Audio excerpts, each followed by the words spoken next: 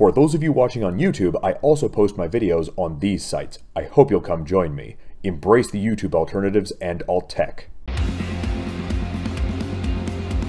Hello everyone, I'm Nathan, and welcome to Star Wars Knights of the Old Republic. Let's play. Okay, let's see. I think I might have... Uh, a Jezka, that's what they were called. Uh, pick it up, kill it, pet it, leave it alone. Uh, yeah, leave it alone. Okay, yeah, I think if I... I think I can... If I remember correctly, I use the Bantha fodder to get rid of them, but I don't know how I can use it.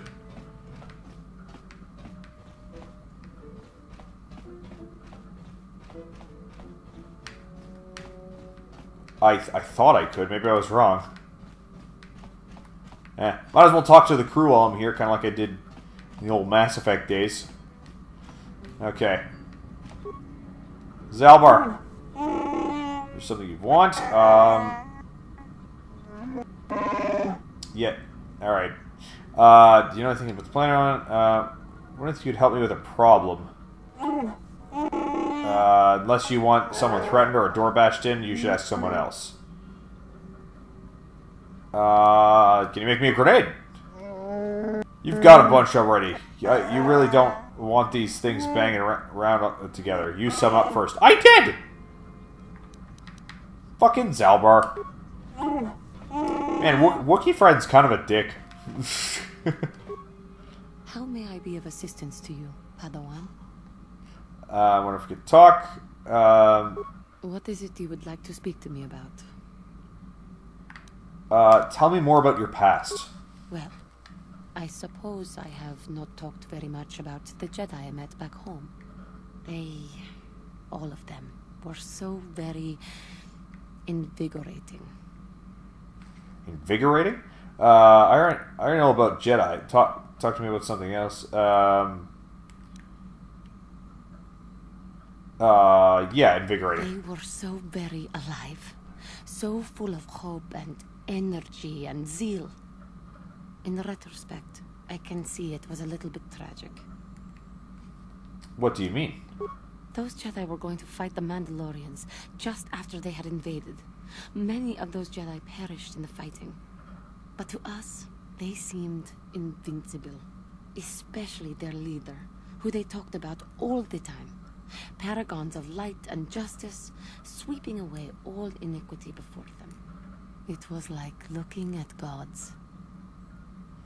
Jedi are not gods. Uh, damn straight, I do look like divine. uh, if that was the case, they uh, they seem to be misrep misrepresenting themselves. Uh, the Jedi are not gods. I know that. I was using poetic license. But those Jedi, they were enthralling. Everyone wanted just to touch them. Some people thought it would bring them luck. Not that the peace they brought lasted very long. What happened? The Jedi left. The people grew complacent. Those who had been wronged saw their chance at revenge. And so the cycle continues. The oppressed become the new generation of oppressors. The human oppressed, that is. The non-humans hmm. were never treated well in any case. We felt the brunt of both administrations. yeah, I mean, that sounds about right. uh, N64 or PS1. Um, now, I didn't have a PS1, although I did play a few PS1. Like, I didn't actually really play very many PS1 games until I got my PS3, which was backwards compatible. Um, but no, I would definitely say N64. I, oh, that was my entry into the th realm of 3D, and it blew my mind. And uh, uh, I had so many Nintendo 64 games. I was a, I was a fool to ever get rid of them. Um, uh, well, you can't really blame, blame them. Uh, uh, all species are capable of intolerance. Um, uh, was it that bad? Of course it was. They took their frustrations and hates out on us because the people they wanted had already fled or were too well protected. But no one looks out for the injustices we suffered. Oh no. But But I am sorry. I should not have outbursts like that. As long as you don't let, let your anger influence you. Um, Don't you see? The very fact I mentioned it means it has its influence. Anger can lead to the dark side, and I must be ever careful that I do not fall back into those ways. I. Uh, I thank you for your support. My outburst was uncalled for, but you did not lash back at me. You are a much better Jedi than I, it would seem. But let us not. Oh, you have no more of this idea. now. we should continue on our journey. Perhaps later we will talk again. Alright, cool. Um,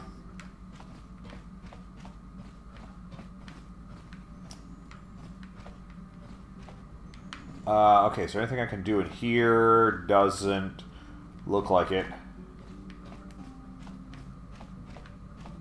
Uh, oh, maybe I'll talk to Carth. Yes, what's on your mind? I haven't talked to him in a while. I want to continue the discussion from before. I thought I said I don't want to talk about it anymore. Uh, don't you think you'd feel better if you if you discussed it? Um, yes, but I'm bored, so spit it out. Yeah, I'll go with that. Listen, sister, just because we're working together, it doesn't mean you get to go badger me with constant questions. Um, do we have another problem now? Um, Blast it if you aren't the most frustrating woman to talk to. Isn't there someone else you can harass for a little while? uh, I'm frustrating. Look who's talking. What exactly is it about me that frustrates you? Oh no, I'm not falling for that, that one. I wasn't born yesterday, you know. really, it's hard to tell. Uh, and you say I'm frustrating to deal with. What, me? What did I do? Well, that's rich. Where have you been? I don't know. Typical male. I am not saying that. um. Oh, that's rich. Where have you been? Okay, I give up. You win. Look, I suppose I could use someone to talk to. I'm just not used to it, and I don't know why you're so interested, but here goes. When I think of all the men who betrayed us, the one that stands out above all of them is the one that I respected the most. Saul. Uh, you say that name like I should know it. Uh, that name sounds familiar. With good reason. Admiral Saul Karath is the commander of the entire Sith fleet. He's half the reason Malak has done so well in the war. Saul was my commanding officer back when the Mandalorian Wars first began. He taught me everything about being a soldier, and I looked up to him. Saul approached me before he left. He talked to me about how the Republic was on the losing side and about how I should start thinking of my survival. I know now that he was trying to recruit me into the Sith, but I couldn't have conceived of it back then. I, I argued with him and he got angry and he left. I never saw him again. Um, you don't think we? Uh, you didn't think we would betray the Republic? Um. Uh, you didn't. You didn't think he would betray. Oh, you didn't think he would betray the Republic. Saul was my mentor. He led us to so many victories against the Mandalorians, even when things looked to be at their worst. I just, I couldn't conceive of it. He, he couldn't be serious. I was wrong, of course. He not only left us for the Sith, he, he gave them the codes to bypass our scanners. Oh, I remember shit! waking up as the first of the Sith bombers snuck past our defenses and began destroying half of our docked ships. I knew right away what had happened. I mean, I could have stopped him. I, I could have stopped it all. So you blame yourself for trusting your friend. Uh, do you really believe that? Uh, and that's why you feel sorry for yourself. I blame Saul, not myself. I was I was stupid and I ignored the danger. He nearly destroyed us all. No, I fought Saul for years now, and if I ever catch up to him, he will regret what he's done. He will regret it. So that's all of it then? Uh, I'd do the same in your shoes. Um, um, yeah, that's terrible. I feel awful for you. Well, there's more to the story, I guess. But I don't want to talk about it right now. Let's go. Dude, we're we're this far in. Just spill the beans. Spill the beans. Um, what's that? Um, uh, Street Fighter or Mortal Kombat? Oh, Mortal Kombat, hands down, hands down, Mortal Kombat. Um, the um, there are certain there are certain charms that I, I like in some Street Fighter games, but like mainly the old ones. Like holy fuck, the new the news the, the newer ones are like oh god, it's just noise pollution. It's it's like between this between the the the, the high tempo music and and the constant chattering of the characters like ugh, it's ugh, I can't do it. I cannot do it.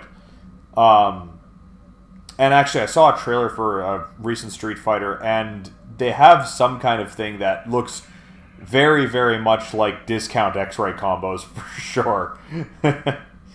um, let's see. I'd like to know more about you, Bastila. Yes, I suppose I can understand your curiosity, given the bond that connects us. Very well. I'll tell you a bit about myself. Uh, tell me how you joined the Jedi, then.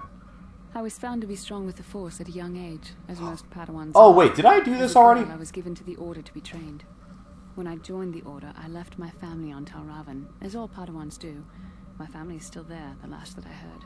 I've had little contact with them, as it is discouraged. Discouraged? Why? Relationships with family members are fraught with powerful emotions. Such extremes are to be avoided. Anger and hate are the worst, but even love can lead to folly. You aren't you aren't allowed to love? Emotional entanglements can be dangerous. They can impair rational thought. They can lead to outbursts of uncontrolled emotion. A Jedi must be above such things. You don't sound very convinced. It can be a hard lesson to learn. I was not on good terms with all of my family, but I do remember missing my father terribly for a long time. Uh, who weren't you on good terms with? Uh, I was not on good terms with my mother. I was only a little girl when I left, but I was old enough to resent her and the way she treated my father. She pushed my father into treasure hunting. I spent all my young life on ships, traveling from one false lead to the next. She whittled away my father's entire fortune, and I hated her for it. I think she was relieved to give me to the Jedi, but my father was heartbroken. oh my god. Oh god. Um.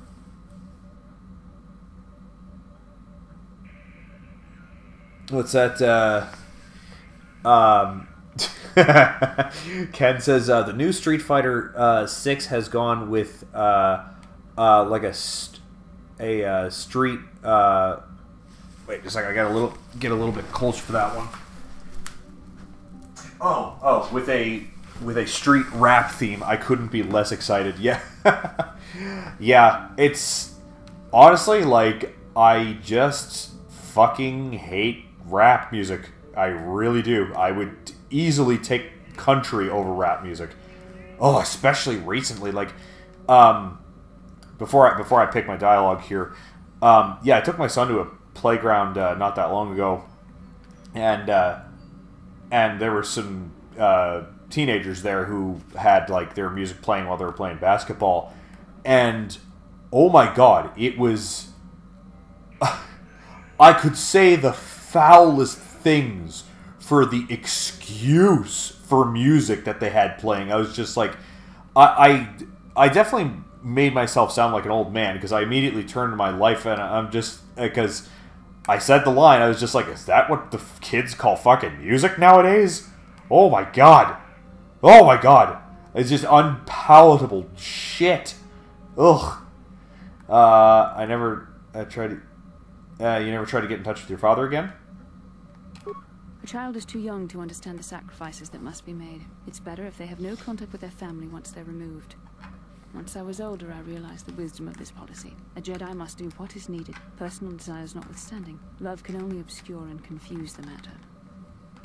It sounds very sad when you say that. Um, uh, but if Jedi were to love, surely that it, it wouldn't be all bad. Well, yeah, and, and see, this is this is actually one of the big, the the big failings of the Jedi, in my opinion. This idea that they have to be separate from everything precious like fa- family and love. It's just like no, I think actually the isolation is the thing that's more likely to turn you towards the dark side. Yeah, uh, because I'm sure that being separated from your family isn't going to cause you to be emotional at all. Good lord. Um, but if the Jedi were to love, surely I, it wouldn't be bad at all. It wouldn't be all bad. Even a Jedi cannot always control the feelings of the heart. We must do our best to guard against it, no matter what the cost. But some sacrifices are harder than others. No. I, I do not wish to discuss this anymore. I would rather return to our mission. No, you are not.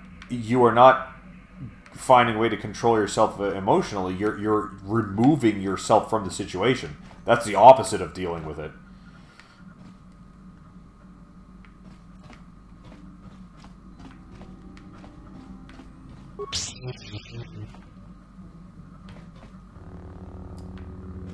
Oh god. Um.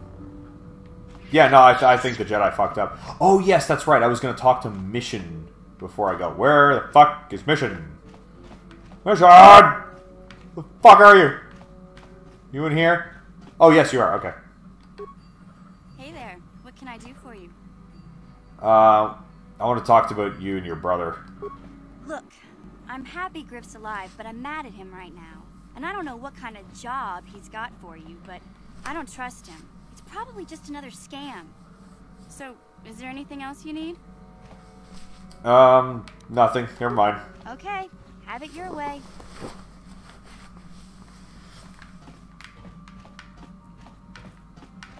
Uh, just a second. Oh, we got a big couple messages in there. Actually, I gotta save. I haven't saved in a little while.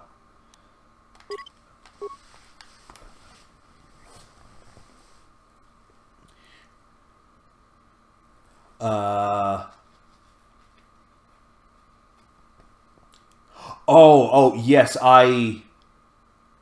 Um, I did hear about that. Uh, actually, Ken. Yeah, yeah, I saw a few pictures relating that, and uh, yeah, it seemed um, seemed a really disrespectful way to handle something so historical. I um, yeah, I thought that was Oh, I yeah, I didn't. I thought that was pretty unbelievable. I mean, I suppose not really unbelievable, but you know what I mean. Yeah, no, I thought that was extremely distasteful.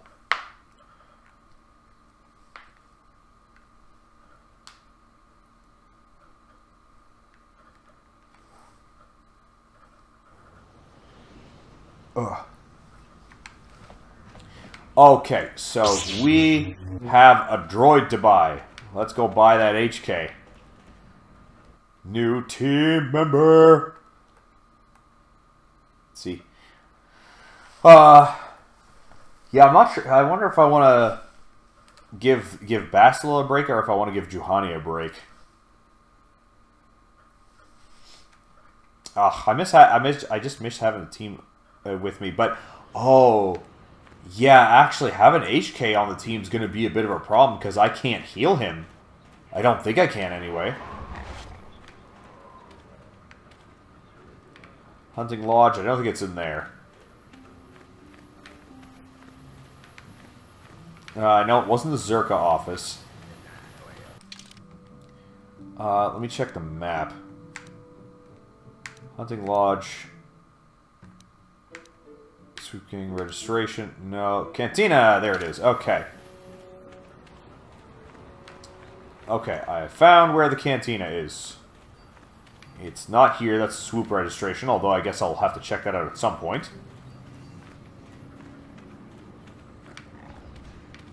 What's that? Uh, HK is HK is so awesome. Damn right he is. I'm gonna go buy him. I'm gonna go buy him right meow.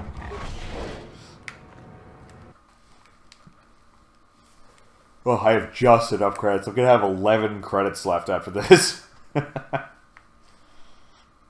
Ask party members about planets and plots. They have valuable insights to offer. Do they, though? Do they, though? oh, this looks different now. Am I in the wrong cantina? Oh, wait, I haven't been to the cantina yet. Oh, shit.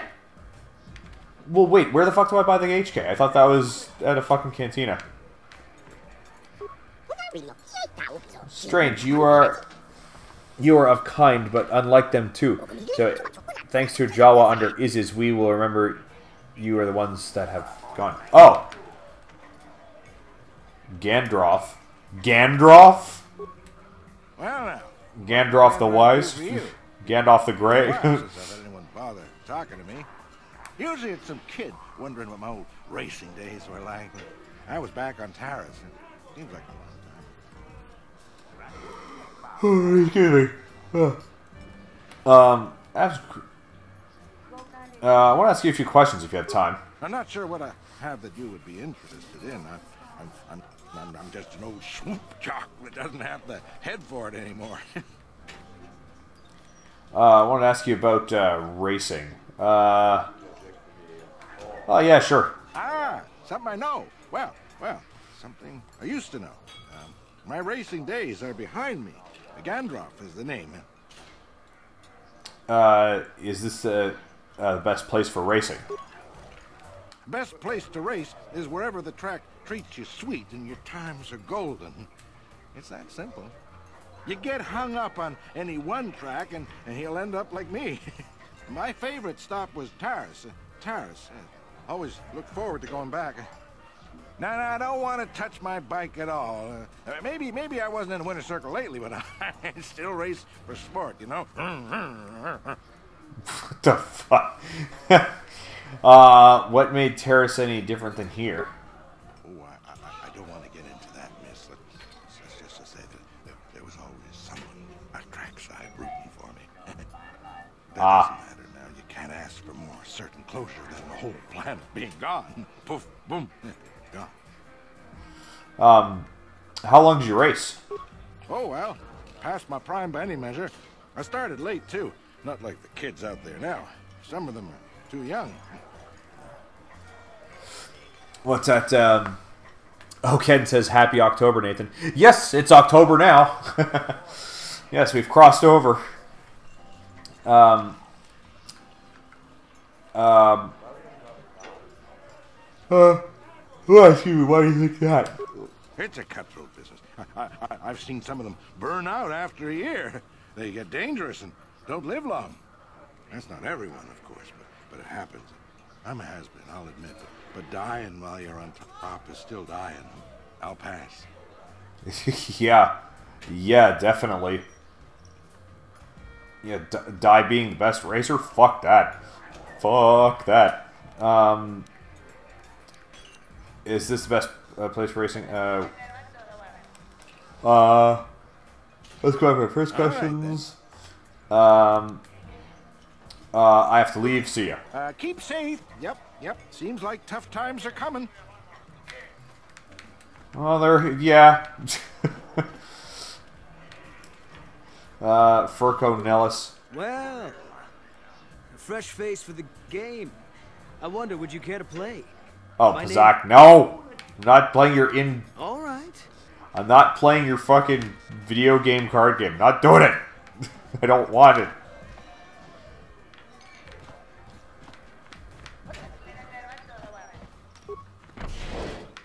Huh. Wait, wait a minute. Just before I leave, there has to be more point to this place. But, no, I actually don't think there is. Unless... Sith, Jedi, do either of them really care when normal people get caught in, in their fighting? Ha. Ha. Yeah. Yeah, that, uh, that line seems much more insightful now that I'm older. That was fun, but I'll have to pause it there. If you enjoy my content and want to see more, do some of the stuff that the screen is telling you. For more videos and live streams, I do both of those on several different platforms. Links to that and more in the description. That is it for this episode, and I will see you in the next game.